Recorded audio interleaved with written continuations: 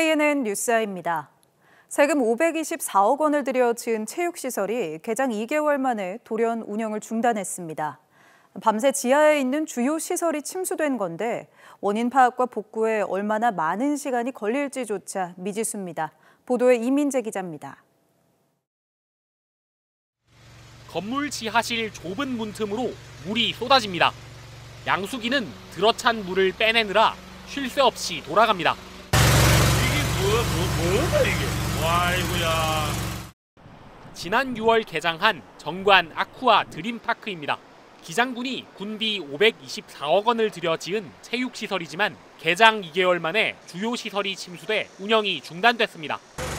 제 뒤로 보이는 지하 1층은 기계실과 전기실이 위치해 있지만 보시는 것처럼 아직도 이렇게 물이 들어차 있습니다.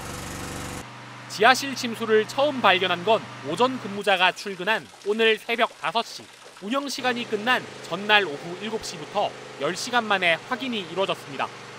완전 그 심야 시간대에는 당직자가 지금은 없는 형태로 근무를 돌고 있습니다. 성인 몸 기준 골반 아래 정도 찼, 찼었던 것 같습니다. 지하실에는 물을 배출할 수 있는 시설이 두 개나 설치돼 있었지만 모두 제대로 작동하지 않았습니다.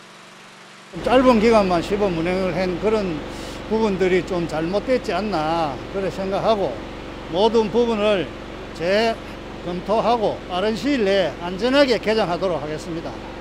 침수 원인은 아직 안 나왔지만 2층 유아 풀장의 물이 절반 가까이 빠져 기장군은 이와 관련된 것인지를 조사하고 있습니다. 건물에 입점한 한 업주는 평소에도 천장에서 물이 떨어지는 일이 잦았다고 말합니다.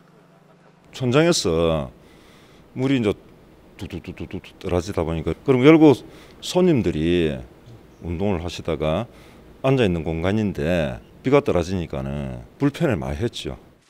국내 최대 실내 수영장으로 홍보했던 정관 아쿠아 드림파크. 개장 두 달 만에 침수로 운영이 중단되며 도마 위에 올랐습니다. KNN 이민재입니다.